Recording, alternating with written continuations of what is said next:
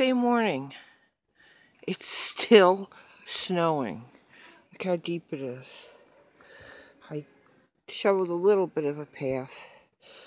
Oh, look at it. Oh my God. So I did clear a space to put the cat food out, and they've been here. There's, there are footprints all over. Okay, this is just a quickie. just a quickie. Oh, mamma mia. Okay, later.